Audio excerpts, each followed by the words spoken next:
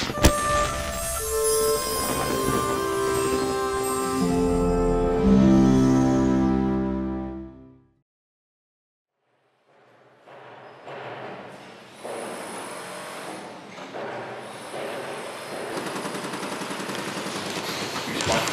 is gonna be the hard part. Quiet in the room. Can you sneak a little bit this way?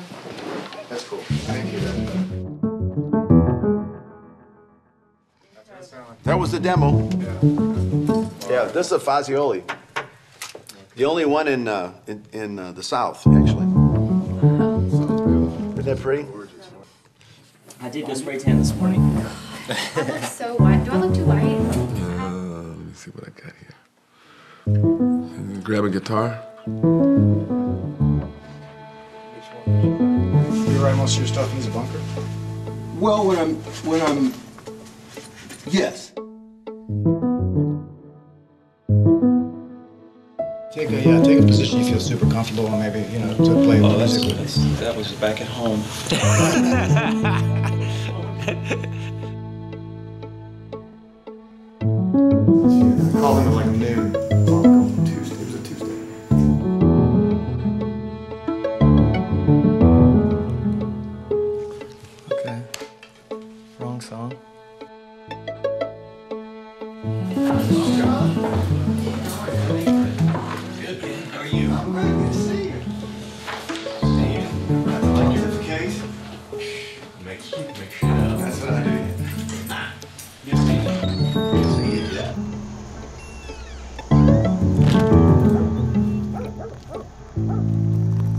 fortunate. I've had about 500 of my songs recorded.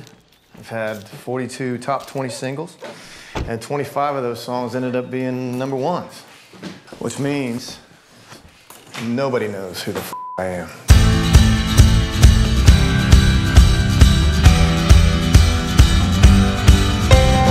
I'm the guy that wrote uh, Try for Pink. You give love a bad name, living on a prayer, living la vida loca. Pontoon. Faithfully. Like I'm gonna lose you. Grenade party in the USA. Nobody wants to be lonely. Stay. Mama's broken heart. The climb. A little less conversation. Live like you were dying. Got a little faith in me. Changed the world. Thousand years because of you. The river. Whiskey lullaby. What hurts the most? I'm the guy that wrote Jesus Take the Wheel. Well, I should say it this way I'm one of the three people that wrote Jesus Take the Wheel. We're gonna talk first, we're gonna play first. What would you like to do? Let's talk first. Sure, good. Why is Nashville this like bastion of creativity? especially- mm-hmm. And when it comes to song, I mean, this is right. This is it. Why Nashville? I've often thought a lot about why Nashville, why is this place, this place? You know, most of the real reasons are mysterious as to why this place. But I'm not usually one for these, for the more new agey explanations of there's just a vibe or there's just an energy.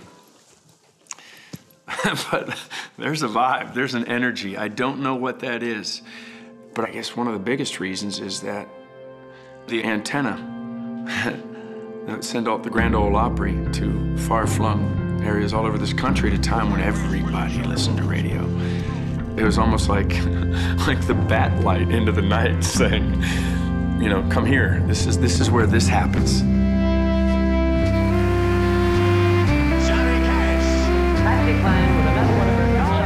Artists came to Nashville who, once they made it on the Grand Ole Opry, they were in their cars driving from Birmingham to uh, Minneapolis to play a show. So they came back on Friday and Saturday night to perform on the Grand Ole Opry, and when they came back in, those artists who stayed at home in Nashville would greet them at the backstage door, say, "Hey, I wrote a song. I got a song for you." So an industry was born out of entertainers being out on the road and not having enough time to write songs.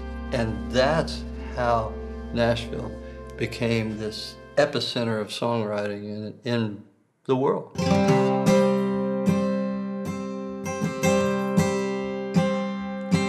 From the corners of the country, from the cities and the farms, with years and years of living tucked up underneath their arms. They Walk away from everything just to see a dream come true. So God bless the boys who make the noise on 16th Avenue. With a million dollar spirit and an old flat top guitar. They drive to town with all they own in a hundred dollar car. Cause one time someone told them about a friend of a friend they knew who owns, you know, a studio on 16th Avenue. I just sort of fell in love with this the, the idea that the entire country music industry took place on about four square blocks of this quiet little town. And most, except for the record companies, everything took place in a house that was converted into an office.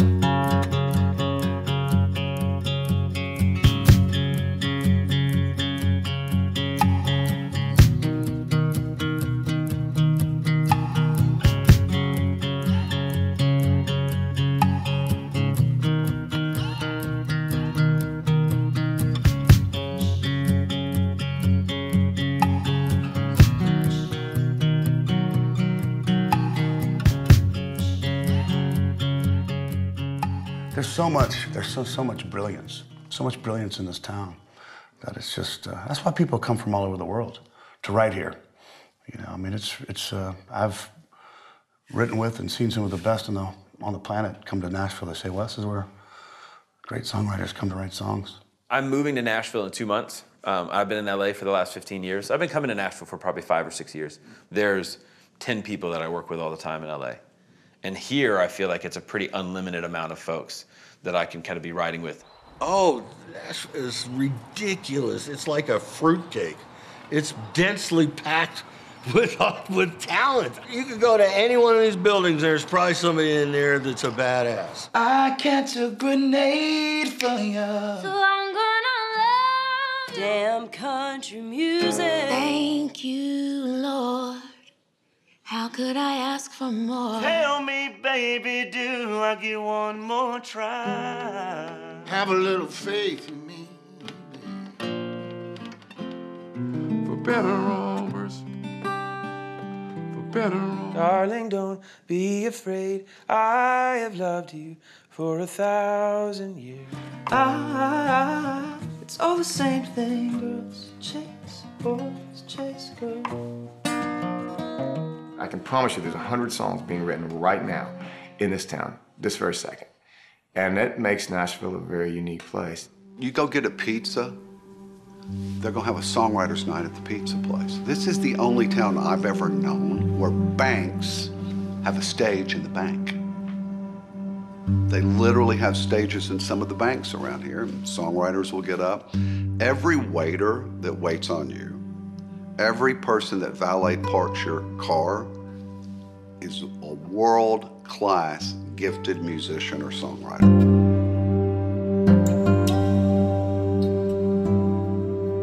Kind of what I always tell people is for six months, don't worry about the business. Just worry about becoming a member of the music community and go see how competitive it is here. Go to every writer's night you can go to, shake the hands of every songwriter you would ever want to meet because they're going to be available to you. They're going to be nice to you because they were in your shoes. Move here. Start living here. Start being a citizen here. They take you in, man. I used to friend people on Facebook that I knew were in the music industry.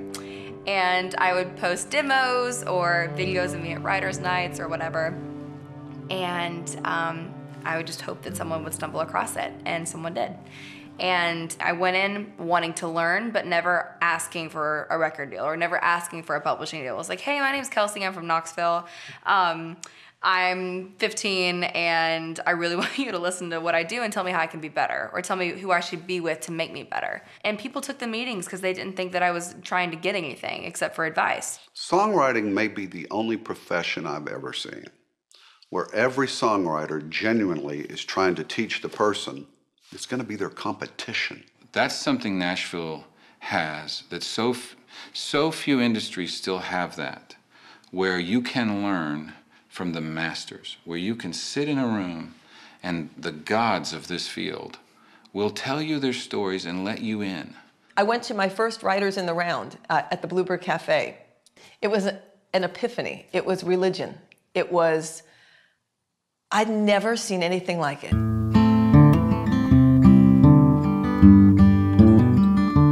To be so close to somebody that you can feel their foot in the carpet while they start to sing a song, not only that they wrote maybe 15 years ago, but you've heard on your radio 10,000 times and has become a part of your life. It made me want to be so much better, made me feel horrible, made me feel like every song I'd ever written before it was gone, and I'm not using that. It's about what, it's what happens from here on out. I remember trying out for the open mic, and like 90 people tried out, and uh, 30 people made it, and I made it. It's in a little bitty strip mall. It seats 99 people, and it launched just about every songwriter career in this town. Artists from Keith Urban to Taylor Swift to Garth Brooks were discovered at the Bluebird. This is a place where dreams come true. Sure changed mine. Yeah. Sure changed mine, changed my children's lives. Changed my children's lives that I didn't have yet. The Bluebird Cafe, we help songwriters. I always wanted to get it printed as a bumper sticker. We help songwriters. And uh, it's all about the song. Even more about the song than it was the songwriter, if that can be possible. On my own tombstone, it's just going to say, shh, because that's just the shortest way to say, there's something important going on here, shut up and listen to it.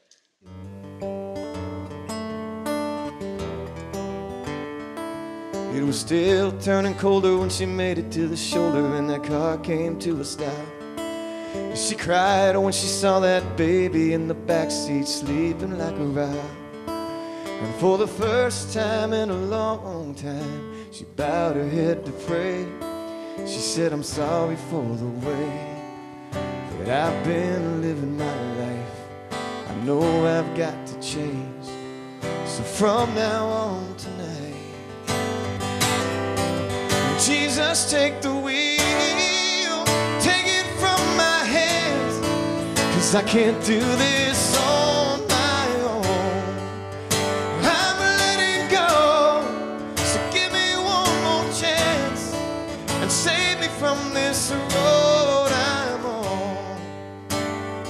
From this road I'm on.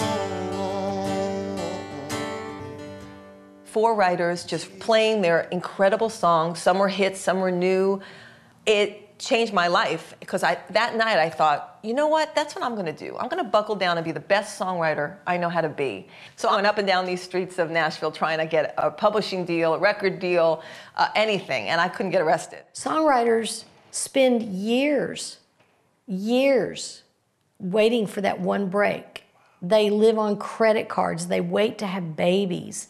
They, um, because they have to write songs. It took it took about five years of just nonstop grinding.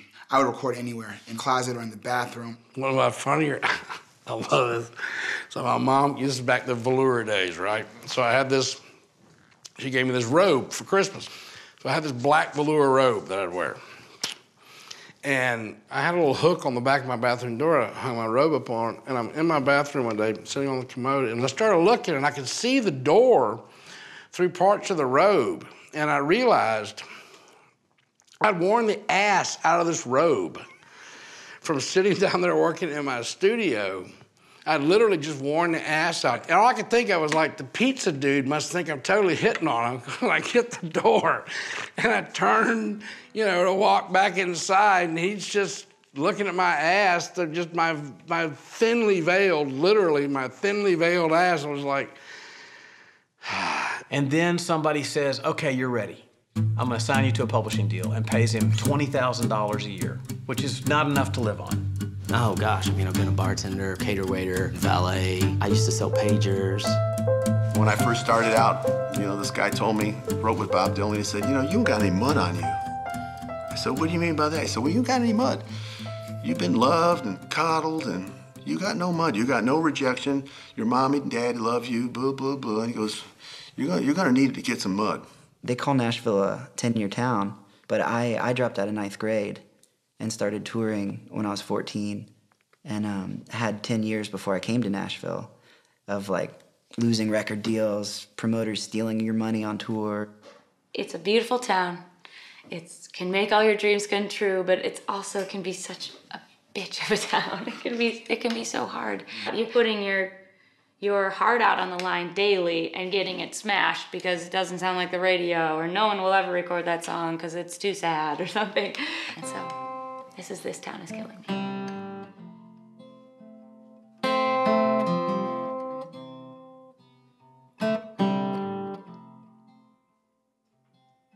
I pour my heart out three minutes at a time on a J45, but no one's listening.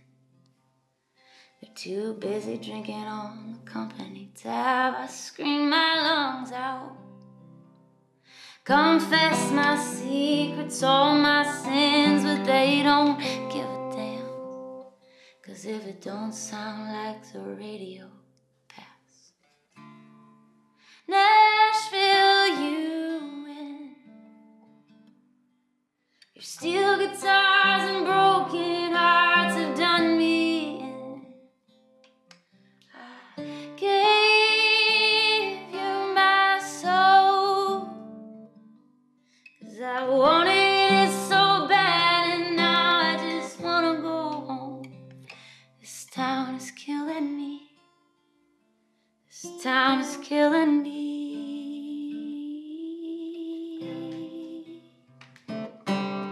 it's a no business. You're gonna you're gonna hear no. No as usual. You know, you're gonna write a lot of songs and they're gonna pass on most of them.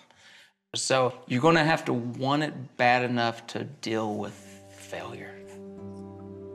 Because when they finally say yes, it's amazing. There was a turning point where I thought, I'm gonna, you know, I'm gonna have to do something else. Like, I'm not gonna be able to support a family like this. And I went to, to be the assistant to this big real estate agent. I put a suit on, borrowed a suit, and I was sitting in this big glass lobby, this building, and all these guys kept walking through in their suits with their briefcases. And I just had a panic attack. I just started breathing really hard. I was sweating.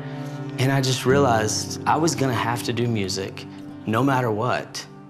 And if I never made money, then I would just continue doing those odd jobs that I'd been doing all those years. And that was two months before I got my first cut. I mean, it, it knocks you down 50 times hoping you won't get back up. And if you do, that's the time it works. It was a title my father had given me. I was calling him about money again. He said, No, you, you're not coming home, John. Don't lose that idea. Don't stop believing. I mean it. Don't stop believing. And I scribble in this thing, and there it is.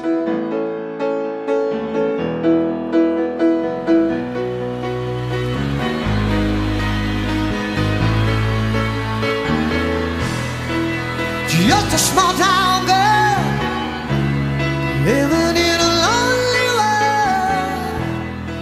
She took the midnight train going anywhere. I remember um, I hadn't released any music yet, and finally, you know, got to release my first record. And I was at the grocery store, just came out, and was standing on the corner with my bags, and this car came and pulled up at the stoplight, and the windows were rolled down. And she was listening to my song on the radio and singing. And it was the coolest feeling. And so I had a friend with me, and he was like, That's you. I'm like, That's me. And he's like, That's her. Telling the girl, That's her. And she's driving, she's like, I'm sitting right there when a guy named Tony Arata's on stage one night. He sings these songs, and Tony's a great writer. Garth was sitting right back over there. He was doing construction and selling boots, and I was uh, loading trucks at UPS. It was me, Garth, uh, Liz Hengber, who was a waitress here, and Mark Irwin, who was the bartender. And that was not only who was performing, that was pretty much the crowd. But uh, we each took turns playing songs. And here comes a song called The Dance. And it was the last song he played. I went up to him. I said, dude, surely that's got to be on hold or something. Somebody's cut that. He goes, no. And it's been here a while. Took it to Allen Reynolds. And Allen Reynolds told me, he said, if you don't cut the dance, it'll be the biggest hit you never had. Looking back on the memory of the dance we shared beneath the stars above. For a moment, all the world was right. But how could I have known that you'd ever say goodbye? And now, glad I didn't know the way it all would end, the way it all would go.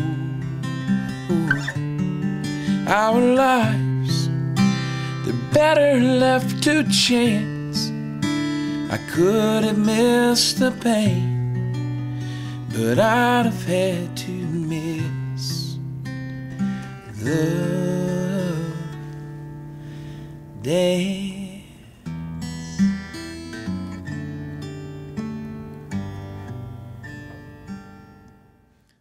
I wrote Stay with a guy named Justin Parker, and he and I were both super broke at the time, met at a coffee shop. I was almost too hungover to, to go. I was nearly gonna cancel, and showed up anyway, laid on the couch with like an orange juice and a sandwich, and he started playing these chords, and I said to him like, well, man, I think I, I think I have something for that. It's not much of a life you're living. Oh no. It's not just something you take, it's given. Oh, round and around and around and around we go. Oh, now tell me now, tell me now, tell me now, you know. Yeah, not really sure how to feel about it. Something in the way you move makes me feel like I can't live without you. Yeah, it takes me all the way. And I want you to stay.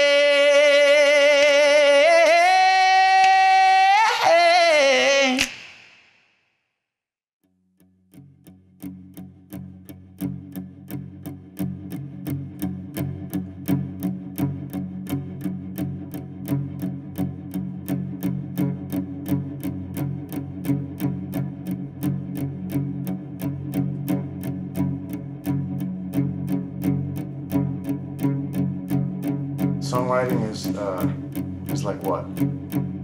Ry Cooder described it perfectly to me. He said it's like hopping in a little spaceship and taking the trip, you know. That's what songwriting feels like to me because it's almost like, you know, I'm kind of steering, but not really. Writing a song is, uh, it's like a drug. Um, writing a song is like? Writing a song is like flying. Writing a song is like? Writing a song is like getting beat up. Writing a song is like?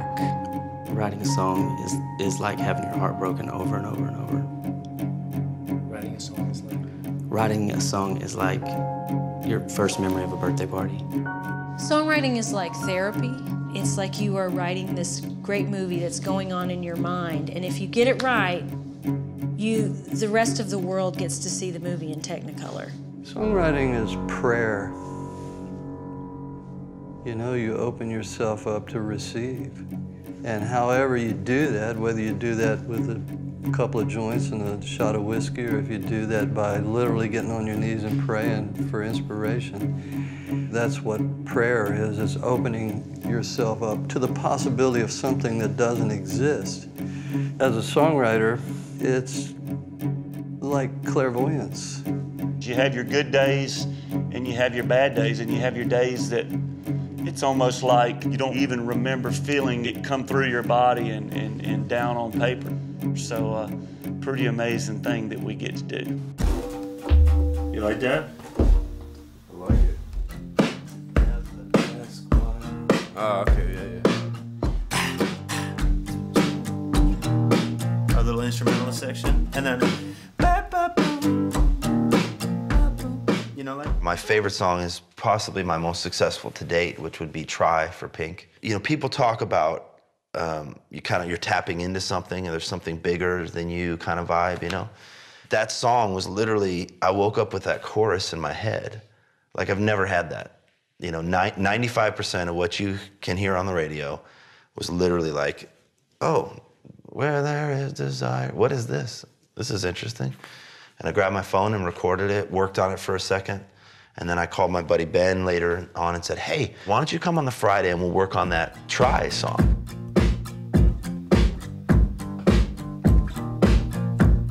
I love this, dude. Should the second verse about be more about her and them, and then that last verse is our current second verse? Are you just getting by? Are you just, you know? Dude. Have you what about what you're doing? Um, yeah, yeah. This yeah. is sick. Where there is desire, there is gonna be a flame. Where there is a flame, someone's bound to get burned. But just because it burns doesn't mean you're gonna die. You gotta get up and try, try, try. Gotta get up and try, try, try.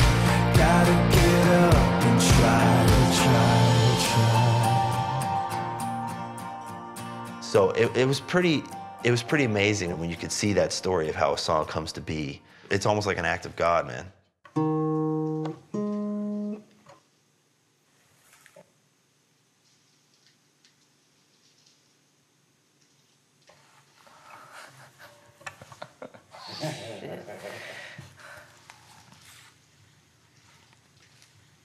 Stranger you met on a plane.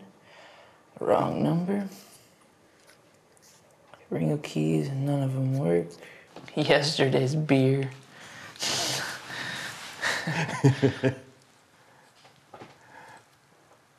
oh man. So I was supposed to make a song out of it. Yeah. Number. A ring of keys and none of them work. Wrong number.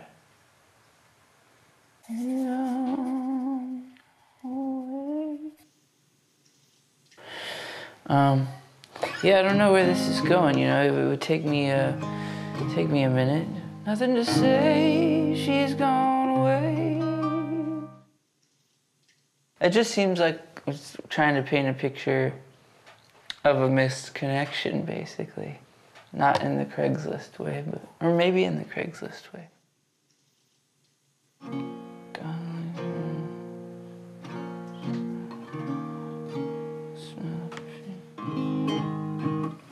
Ring keys and none of them work.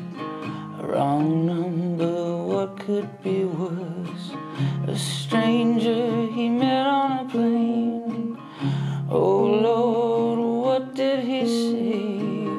Conversation, it came with ease. She was just so easy to please. Touching down, they went their own way. Yesterday, now nothing's left to say. She's gone away. He's over the moon, lost in her perfume. Yeah, that could be cool. Then it becomes a story song. It's very interesting. Is that the way it is? Like there's all these scraps lying around in your brain or in, in, the, in the universe, and you're like, Yeah. I've gotten to the point where my writing has become more, I guess, abstract, for lack of a better word. I don't know, it's like approaching it like an abstract painting Hmm. instead of uh, like with a title or, you know, a hook or something. Like Really? Yeah. So I just kind of float around, you know, uh, with my daughter watching over her with the guitar, or take her on a walk and recite the lyrics and see what kind of edits itself. So this is very similar. How is it that you put together a song? What's your deal? I wish I knew how to write a song. I mean, no, I'm serious. I, I, Yeah, I know there's uh, there's craftsmen in town who can write on a dime, and I'm not one of those. I have a habit of playing the guitar every day, and uh, within that habit, I hope that something comes up, but it doesn't always. A lot of younger writers have come up to me over the years, and the only advice I can give is to write songs. You just have to do it. Professional songwriting in Nashville is, is not what people think it is. Most people think songwriters smoke weed and walk around the streets and hope that inspiration hits. Um, that's sort of a good way to be a poor songwriter. Um, you know, you have to treat it like a job. You really do. It, you know, Nashville has a bit of a tradition of that that started in the 70s. Before then, it was more like that. It was just, let's wait on inspiration. And then a few guys kind of said, you know what, I'm going to keep office hours. In the 1950s and 60s and into the 70s and through the 70s, really, I wrote virtually everything I wrote by myself. I thought you had to go lock yourself in a dark room somewhere, pull down the shades at midnight, and sit there till three or four in the morning and see how miserable you could get and write a sad country song. Then I discovered a thing called co-writing. You go in, you write either with a friend uh, that you know well or someone you've never met, and your job is to let your guard down and just be honest with them. I think it's interesting that songwriting is one of the only mediums where you shape things together. Like, nobody starts a painting and then fin- and hands it to someone else to finish. But I love that about songwriting um, because, yeah, I, some of my favorite ideas would never have come along if I didn't have his brain or you know someone else's brain in the room. The most amazing thing about what I do is, you know, Monday through Friday is I go and I sit in little rooms on Music Row with other songwriters, and I have for 20 years. And we all do life together. I'm like in a bit of a weird mood. I'm like super pumped to be here. I had a big fight with Raleigh, of course. I feel like it Oh, always no. goes like before. So I'm like juggling that in my brain. Pain and beauty. And all of it is like I was just an asshole this morning. Is basically what it comes down to. That's the truth. And so like trying to deal with that. That's what we do all morning. You know, we're drinking coffee, we're talking about what happened last weekend or last night, and then you start talking about song ideas.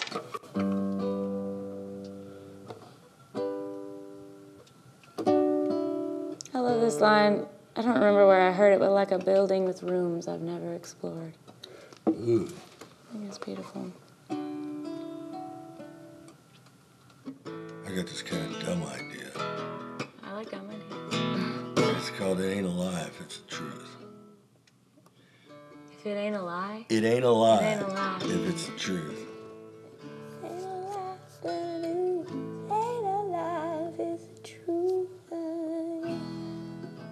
It's just this ping pong process of song idea, song idea, song idea, and then all of a sudden someone says something that rings a bell.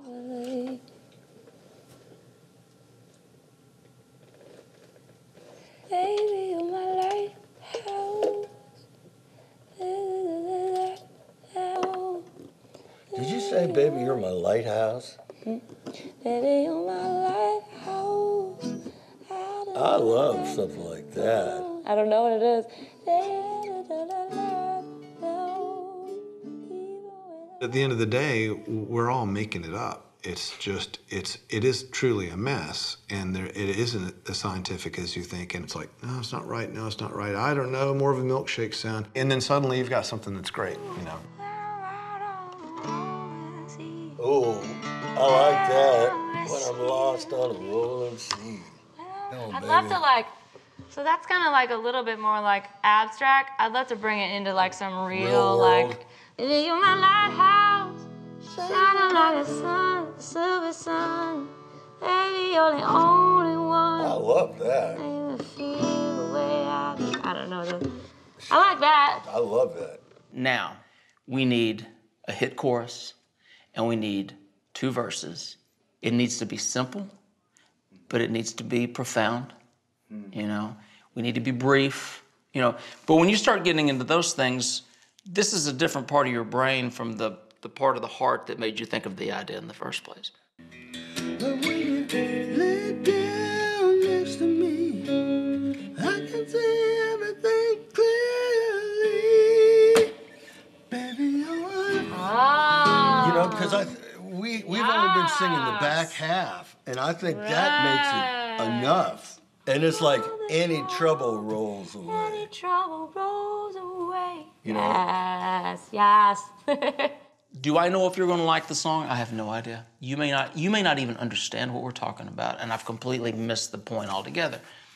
But if I can get done and I can look at it and say, I believe this is a hit idea, and I think we wrote it as well as we possibly could have, then I think the song is finished.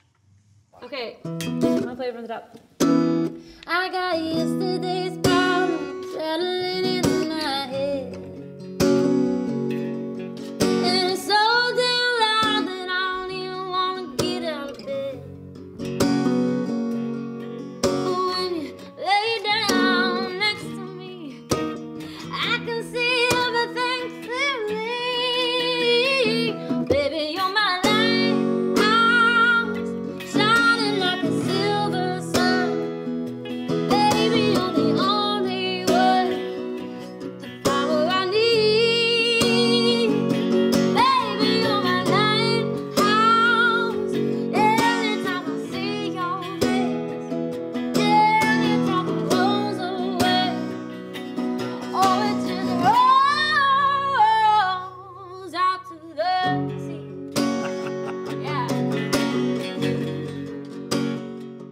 Anybody who's made a career as a writer will tell you, really, in some ways, it's not even the end product. It's the process that's most important. The best writing rooms to me are when there's three people in the room, and those three people form pretty specific functions. Nowadays, you might have a track guy, you know, and then you've got another lyric guy, you got an idea guy. I need a melody guy. I'm decent at it, but I'd rather have somebody that's great at it. Um, if it's one of the best ideas I've had all year, one thing I do not want to do is write it by myself because it's not going to be a hit. Most everybody in Nashville does not know how to do the whole thing. The track guy's amazing. The track girl, whoever it is, it's amazing. What they do, I can't do that, but it sounds badass. When you walk in that room and they got something going, it's something going.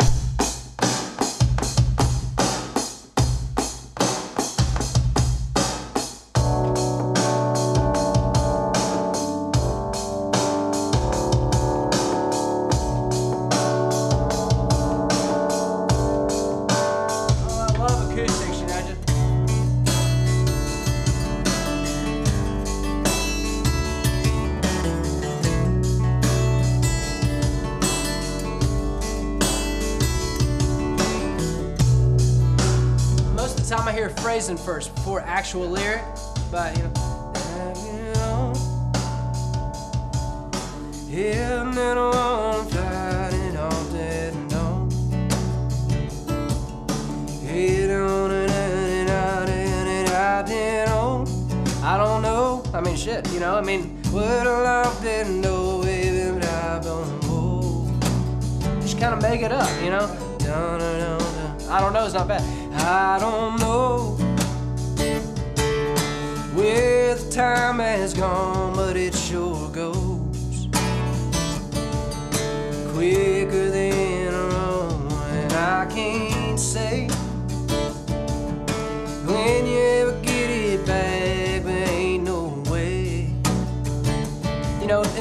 Makes sense, some of it doesn't, but you just kind of blindly go in a direction that just feels right. Is there, is there a recipe to writing a great song? You know, sometimes in anything we do in life, somewhere there's this mentor that you went to and you go back to and you really look up to. And, and mine was a Hall of Fame songwriter named Tom Shapiro. He used to say, There's 5,000 ways to write a song. Pick one. I think that's magic. When I first started coming to town and I was like, I want to write songs, um, I think I met with 30 publishers in town. And so I went around to literally every publishing house with my guitar, played a song. And I remember like how I would write songs at home is I would just pick up my guitar and like whenever I'd kind of feel inspiration. But it was the first time that I saw like a staff songwriter, like these writers would come in with books and they would have titles and titles and like ideas and ideas. And I was like, what is this way of writing? There's one on here called Camp Out Country Titles. She's been living in all of her junk, going for the kill, making thrills, crying diamonds. I don't know what those mean yet, but I'm sure they'll turn into something. Crying diamonds. yeah, come on, come on, come on. Give, give, give us some crying diamond action. Uh, I don't know. Who knows? Crying diamond. Now we're like the TV show Nashville. Just like, like, that doesn't actually happen. That doesn't happen. Okay. I've got a notebook full of ideas, and it's, I mean, it's just pages and pages and pages of titles. That's the way I do it. Is I, I brainstorm titles as frequently as I can. I don't I don't think about them when I write them down, and then I go back to them. Is there any way we could photograph that one day? Or? I would give anything for you to be able to do that because it got stolen. Oh, It got stolen about four months ago out of my Jeep with my computer. It was in my backpack, and I couldn't have given a shit about that computer. But that notebook had 17 years worth of ideas in it. This is a smaller notebook than I used to use, but um, but I'll fill them up. I'll I'll have explanations sometimes out in the margin, and it's not necessarily that there's going to be a great title in there. It's just thoughts and it's phrases that can make me think of It's other fodder. things. You're writing fodder. Exactly. It always starts with words for me. Hmm. And I suppose that's because I'm a singer. So I'll overhear something, somebody having a conversation at a table or something in a movie. Well, I'll love a line. I'll think it's so well written and something about it will get in my head. A lot of times, I think I write most of my songs in the car, just driving. And there's something about the speed of that and everything just flying past so much, which is the exact speed of my brain. It's like I don't feel like I'm tripping over myself and everything's coming out smooth. I think songwriters think a little differently. You know, you see the world a little differently. You're always going, that's a song, that's a song. That dude and that girl over there, that's a song. I might be in the middle of Thanksgiving dinner. Hear a word, I gotta document it. I'll be in the middle of an argument with someone and think, ooh, they just said a really good line. I'll put it down and go, okay, gotta get back to the actual situation. That's the thing, is that it, it really is a blessing, man.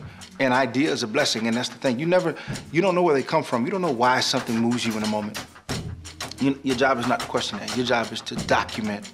Songwriting happens all year round, you know, and it happens everywhere. And I just try to be open enough to receive it.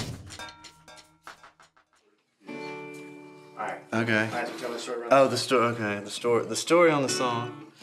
Um, it's just it's a it's a it is a country song in itself. So, you know, it's it's just classic. In like three weeks' time, I- or in a week really, uh, my marriage went south. I lost my record deal and I lost my publishing deal. And as most country singers, I just you know figured I could I could work it out in a bottle of Jack Daniels at some point. And I, I was hanging out at my manager's house, and and uh, we were sitting up way too late, had way too many, and and uh, and he commented that I'd put a bottle to my head and pulled the trigger, and I said I said yeah, that oh, that's pretty. I tried to scribble that down, and I lived with that idea for a while. And then that's when I, I brought it to Bill Anderson, you know, my, my hero. Anybody that could come up with a line of uh, he put the bottle to his head and pulled the trigger is a, is a pretty special human being. I think that's the song that most people will say to me, Gosh, I didn't realize you wrote that. She put him out like the burning end of a midnight cigarette. That was my line, by the way. She broke his heart. Spent his whole life trying to forget. We watched him drink his pain away, a little at a time.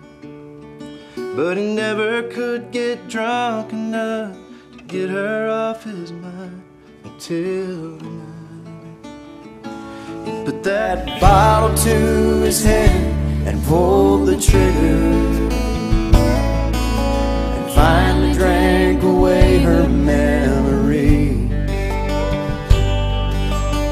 Life is short, but this time it was bigger.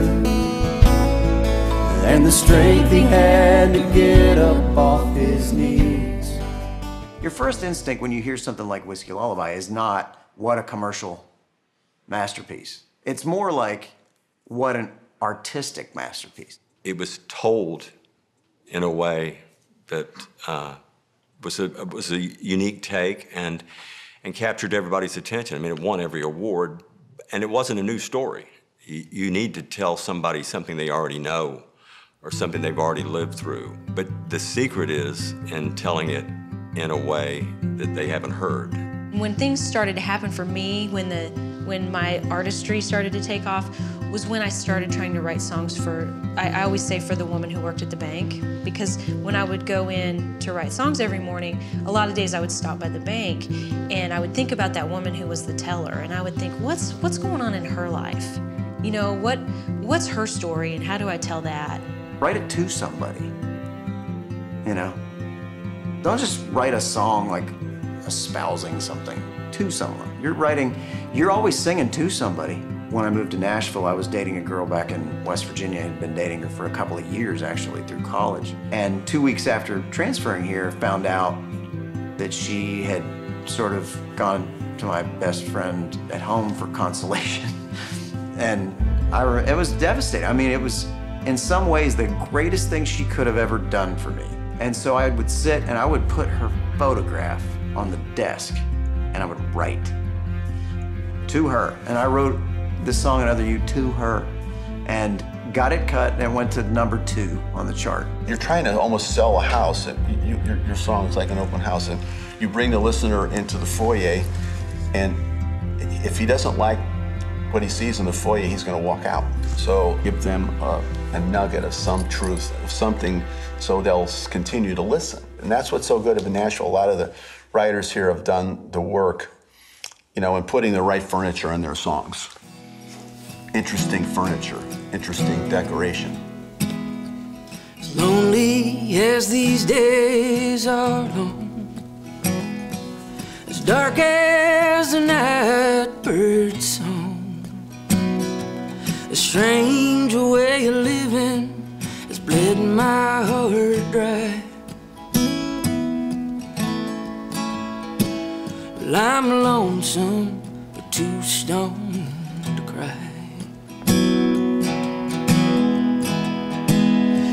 my clothes, they're ragged and worn. Like a sailor who's caught in the worst kind of storm. The water keeps rising, but I'm getting by. I keep walking, too stoned to fly. At the end of the day, everybody wants a great lyric, a real lyric, a raw lyric, and that's what Nashville brings, I think, to to LA and to New York. Is we learned from these guys that are twisting hooks, they're painting pictures, they're just, I mean, the Nashville songwriting poets like Kris Kristofferson taught us how to write. Take the ribbon from your hair. Shake it loose and let it fall. Kris had made such an impact. He was the first writer to really introduce the bedroom to country music. Take the ribbon from your hair, shake it loose, let it fall, lay it soft against my skin like the shadows on the wall. Very poetic stuff, but it was very seductive and it was smart. The great artists like Kris Kristofferson or Guy Clark or Townes Van Zandt or John Prine, those are the teachers. Guy Clark and, and I would be writing these songs, and uh, it, it was kind of like being able to hang out and paint with Picasso, you know, for 20 some years. Where melody and poetry meet is where I want to be. That's what I learned from a great artist like Guy Clark. And I go over his house and he say, hey man, if you write a good song, a really good song, people are gonna hear it. End of story.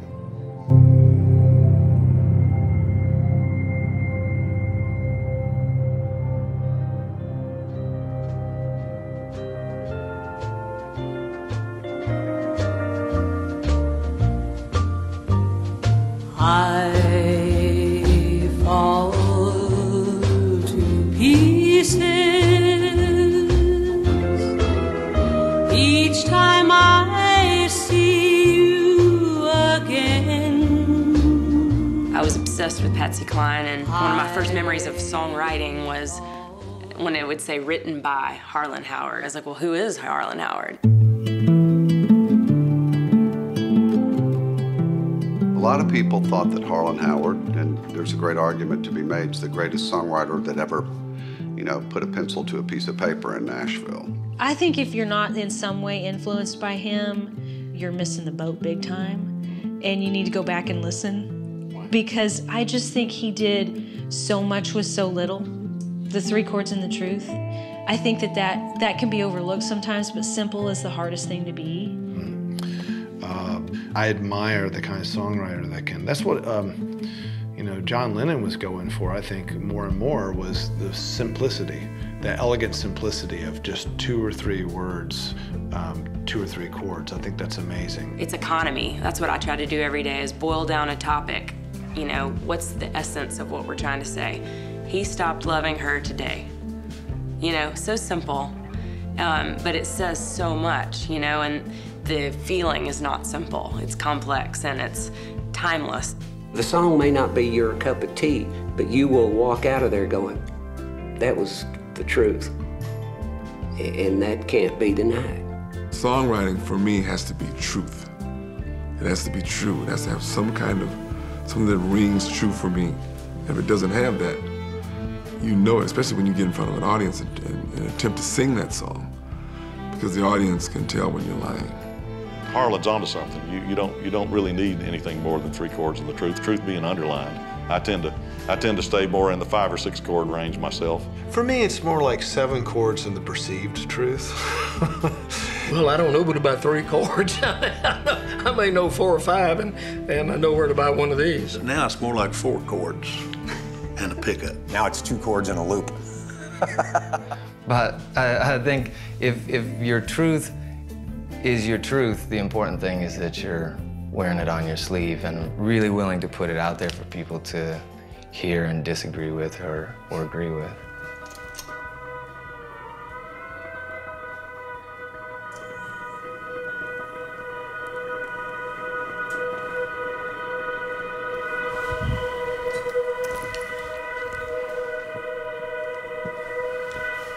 So much of, of songwriting just comes from the, a point of inspiration, and then you just run as fast as you can into the middle of nowhere and try to describe what it is you're seeing or feeling.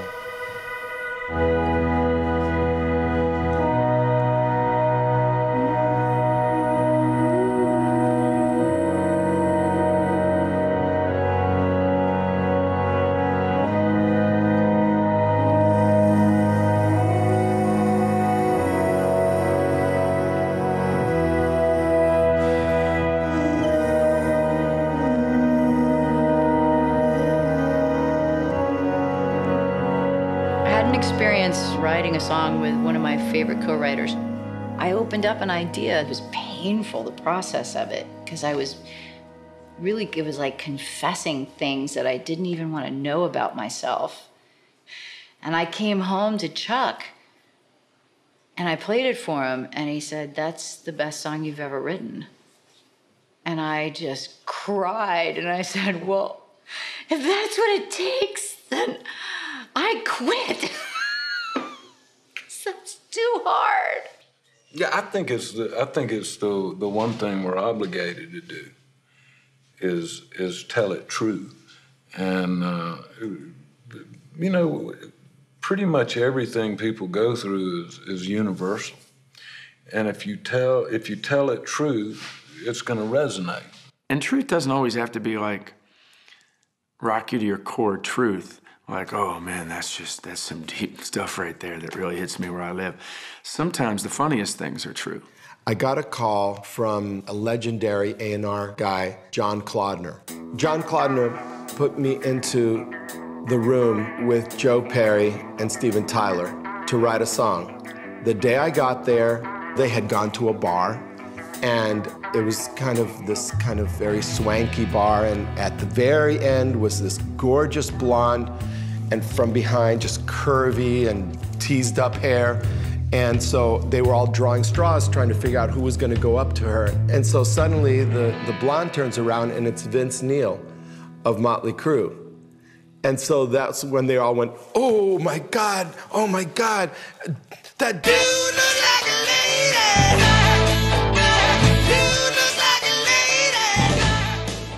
Life has a funny way of like giving you signs before they happen. I was in a studio in New York um, late at night. I snuck into the studio. A friend of mine was the engineer, so I would go in there late at night to get my demos out.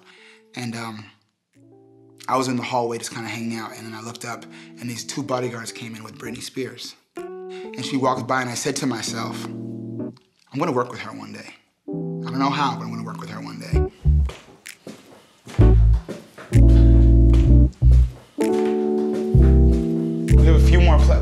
We, we, kind of like to leave the, the biggies for the last. So we got Britney up here, Celine up here, Bruno, Ne-Yo, Cher and Christina Aguilera, Whitney Houston, and Michael Jackson. Yeah, so this is like this is like royalty lane right here, whatever you want to call it. So I think I had to convince myself I was a songwriter before anyone else said you're a songwriter. When did you go, wow, um, I've arrived? When Elvis cuts one of your songs, I mean, in my in my instance, that was it. I mean, uh, there was uh, no getting around it. I mean, he was the man, and um, I had some of the first songs I wrote. I, I wrote with him in mind. You know, I saw him on the back of a flatbed truck at the Hub Motor Company parking lot. You know, all the girls went crazy, and I thought to myself, boy, if I can't do that, I'm going to get a song to him, if nothing else. As the snow flies on a cold and gray Chicago morning, a poor little baby child is born in the ghetto. and his mama cries. Cause if there's one thing she don't need, it's another little hungry mouth to feed in the ghetto. For me, I like to have an artist in mind when I write a song, because I try to kind of put my voice into that artist's voice. Um, and that artist could be a male or female. Pink, she's a massive artist. Her recording your song is this, you know, it affected us greatly. Um, and she said something. She said, L.A. Reid always told me um, smart artists will cut a song even if they didn't write it. And it was like, wow. And we get these pitch sheets. The publishing companies get these sheets No kidding. from from the record company, and it'll give everybody on their label that's looking for songs to record. So you go down and you kind of see, and you that helps you go, hey man, I've got a song I just wrote last week that's perfect for what they're looking for, and then you send it over and see if they hear it and they, it ends up on the record. And interestingly enough, sometimes you write a song that you were writing for that, it didn't work for them, but a year later it ends up on someone else's record. Our biggest song that we had together was Change the World. It got pitched out of Polygram Music Publishing Company, and Don Potter took it from there for Wynonna Judd's next project. We were told that it was going to be a single for her and all this stuff. And then we watched them put out one, then two, then three singles from that record, and none of them were this song. And so we were sort of like, wow. Uh, about the time we were digesting the fact that we were not going to have a song out as a single with her, Clapton puts it out in the soundtrack the summer of 96 in the movie Phenomenon.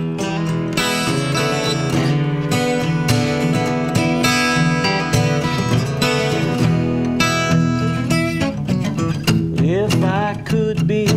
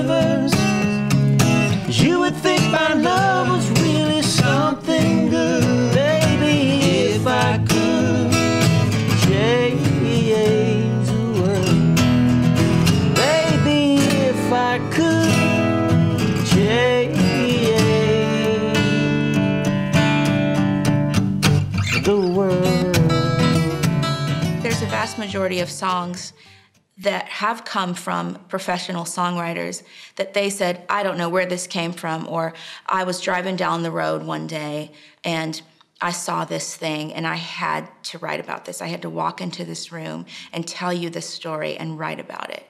And then there's that whole other side where, you know, you, you get a list of things that a certain artist is looking for and you need to write about these specific things. But I've been in many rooms where you may have that list of directives, but the room and the energy in the room takes you somewhere else. And that ends up being the thing that gets cut. Wow. Yeah. Really? Um, can you can can you give me like an example of that, like in your own, like where that happened for you? Um, yeah, well, yes. Um, it was summer day, 16th Avenue, and it was in, in a house on the row. Went up to the attic to write with Katie Herzig. And we'd been given a set of directives, you know, different different artists who were looking for things in a, in a specific lane to write in. I didn't want to write anything. And I'm sitting there with my head back on the couch, and Katie starts playing these really open chords, and she's only hitting two strings every time, sliding up and down. And and I just pictured in my in, in my head this image of a man on the street who was also having a really bad day, but worse than I was having. Didn't have a home to go to, didn't have a car to get in after all was said and done. And the lyrics flowed really quickly, and in 20 minutes in, we had this song that was nothing like the directives. But that was the only song of mine that has ever gotten Grammy recognition.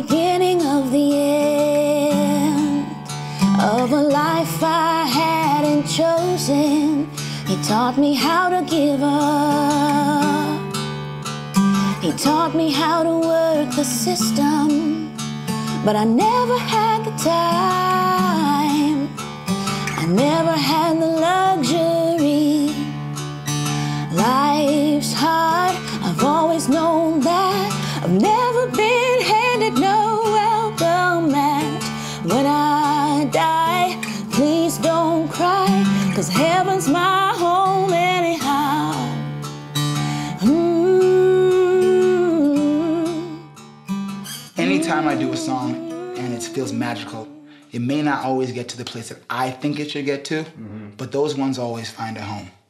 One of my good friends was Bob Beckham, and he wrote, he, he ran uh, Combine Music. And uh, Bob called me and said, I got this new writer kid in town named Kris Kristofferson, and he's written three songs. You come listen, I want you to record, pick any one you want. So I said, okay. So I went over and he played me, helped me make it through the night, Sunday morning coming down, and I think for the good times. And uh, I said, well, I sure love that Sunday morning coming down, I'll cut that. I put out Sunday morning coming down, sold 12.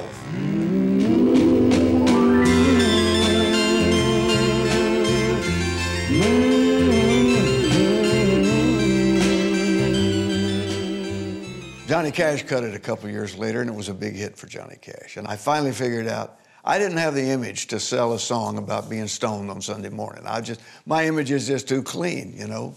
If a song is a hit, it's a hit.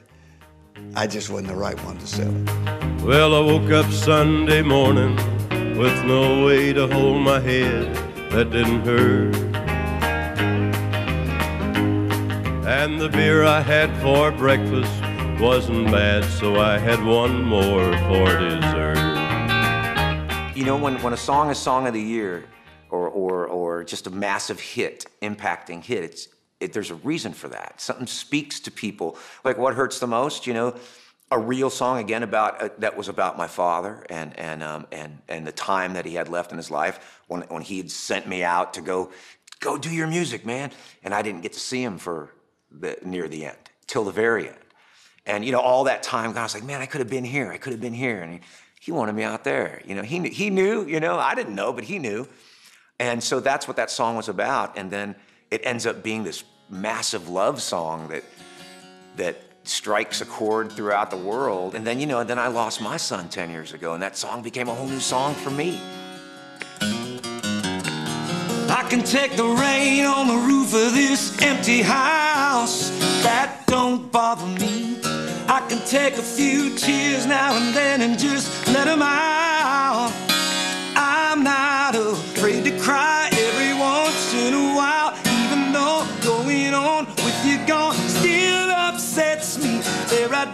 Every now and again I pretend I'm okay, but that's not what gets me. What hurts the most is being so close and having so much to say and watching you walk away and never knowing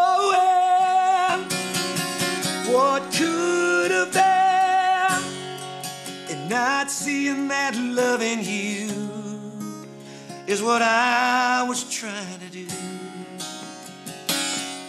You just never know when you you sit down and put some words on paper and give it a melody. You don't know where the thing is going to fly off to and who it's going to touch. I had a man telling me that he was in his car driving out in the swamps of Louisiana, listening to the radio. He said, I was going to commit suicide.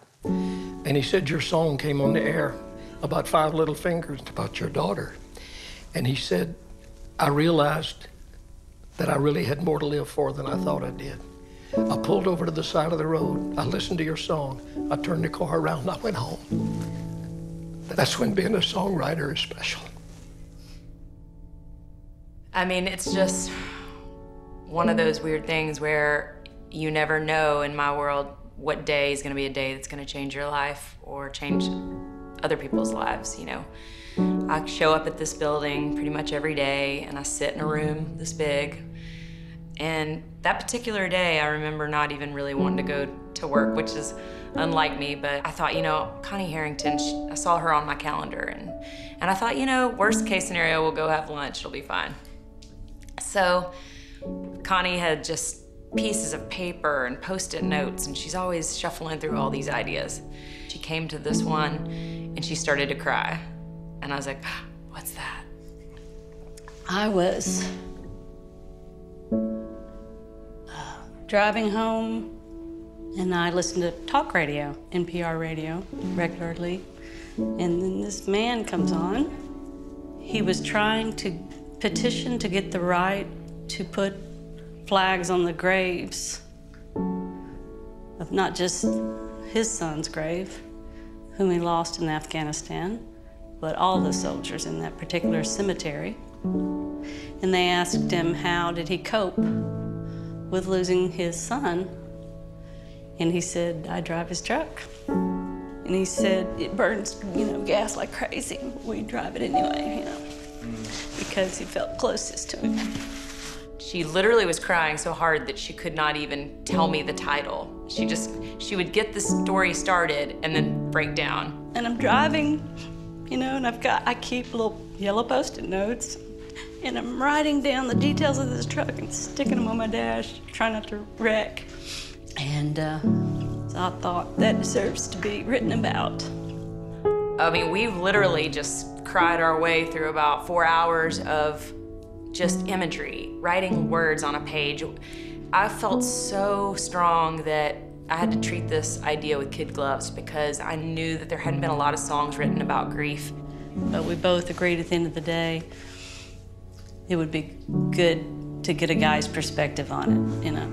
So we debated who that should be and uh, arrived at uh, Jimmy Yeary. There's, you know, eight male songwriters just in this building we could have called. And if we had called any of the other ones, it wouldn't be I Drive Your Truck that, that we have today. And so we booked another writing appointment, and he came in, and me and him got the guitars out. He had kind of a, a melody going, it was perfect. When I write, when I get so far and I realize today's going well enough, this is going to be a real song, I will type in the date and I will type in the title. And when I did that, I just stopped, burst into tears, and they were like, What's wrong? I'm like, We wrote that song on June 21st.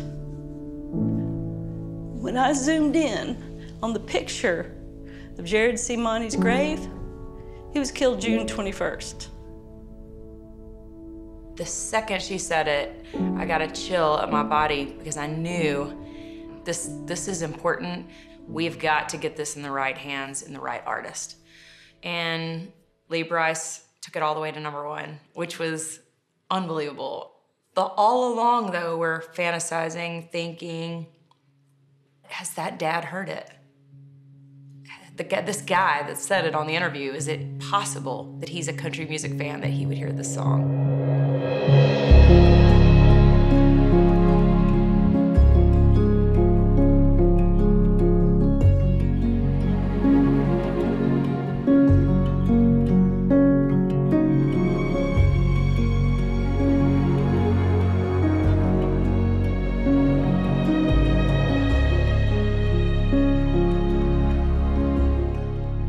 Last time I talked to my son, the phone rang.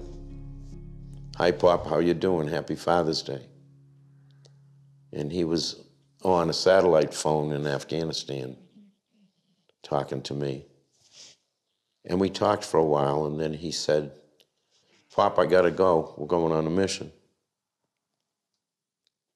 That was on June 18th, 2006. And he left for the mission, and three days later, I had men walking up my driveway to tell me he had been killed.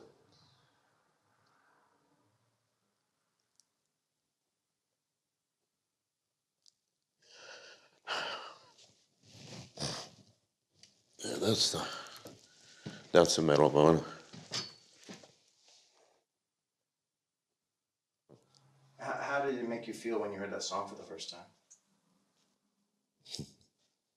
Sad, tearful.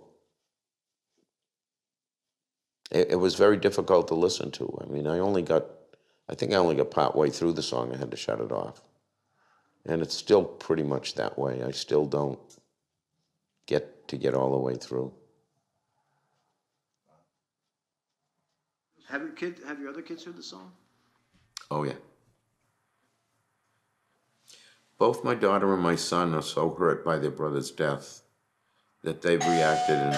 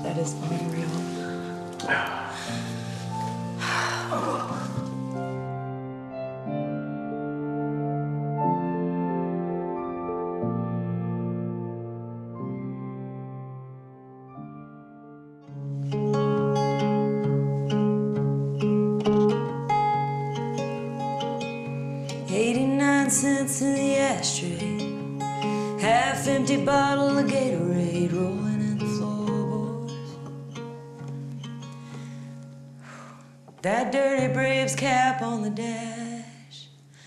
Dog tags hanging from the review. Old school can of cowboy boots. And gold army shirt. Folded in the bag. This thing burns gas like crazy. Oh, but I don't mind. People got their way.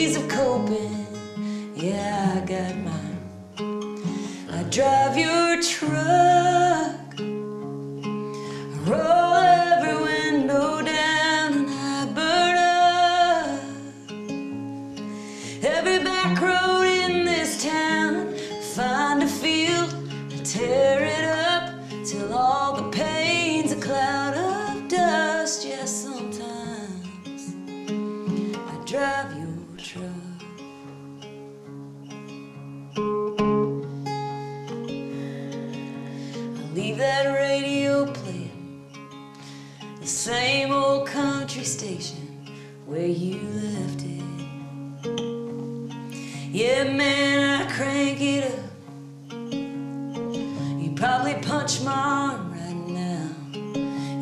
see this tear rolling down my face. Well, man, I'm trying to be tough. Yeah, Mama asked me this morning if I'd been by your grave. But that flag and stone ain't where I feel you anyway. I drive your truck.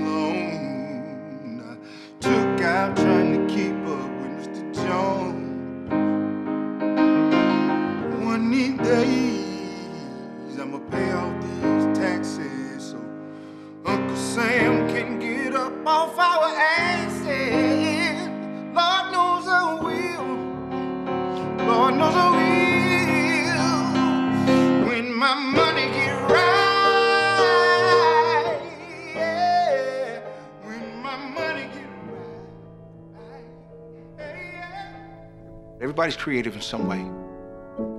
Some people cook, some people paint, some people dance. That's the connecting piece. We all have that.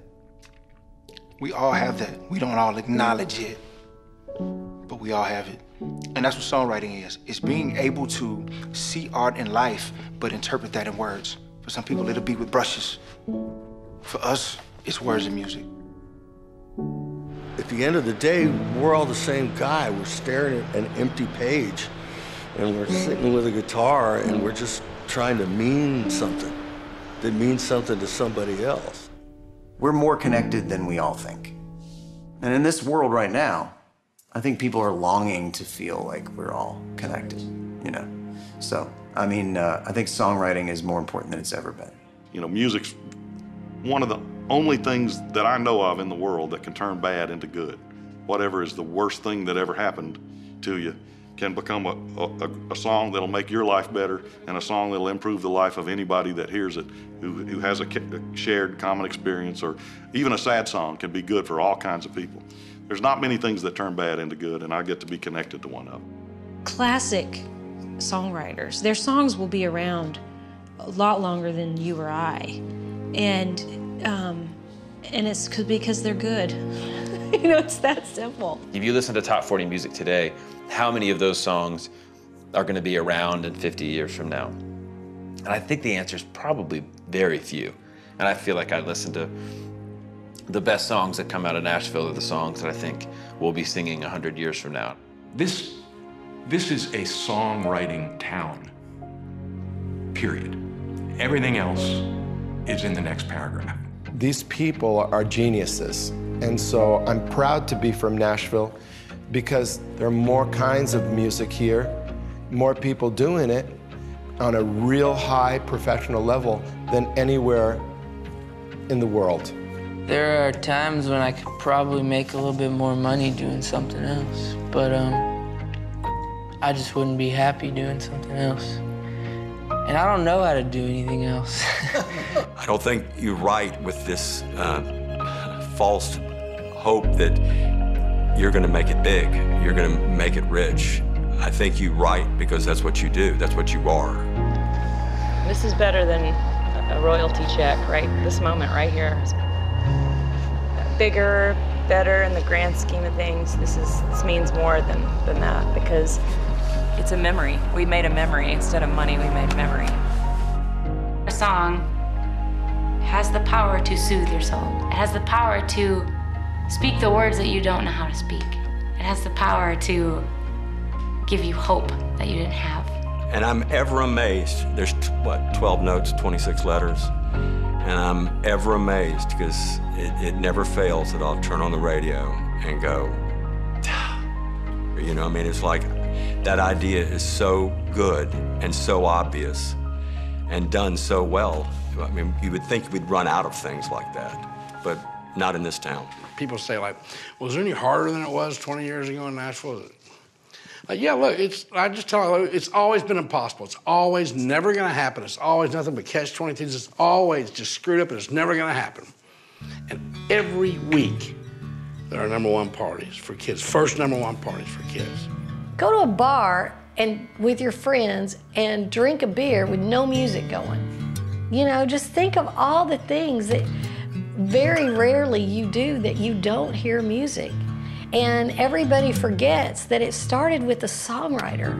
It started with somebody that got up and went in a room and had the nerve to put their journal to music. It's just crazy that it's an industry, an industry where you go to work having no idea what you're going to actually produce, and you're going to take an idea that's floating around in your head and put it on paper and make it, you know, actually concrete, which turns into hopefully a song, which turns into a demo, which turns into maybe hopefully a record cut, which then people all over the world hear. It's like, what? How is that even a job?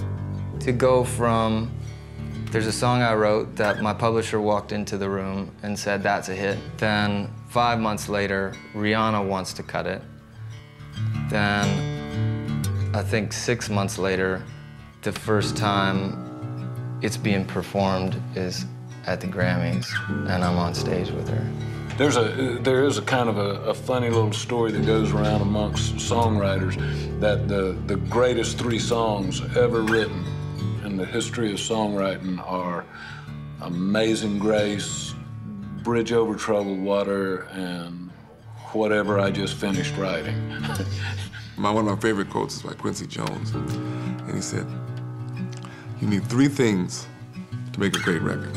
Three things the song, the song, and the song. The reason I do this is is that I'm chasing a feeling. I'm chasing the chills. It's the best drug, you know, besides love.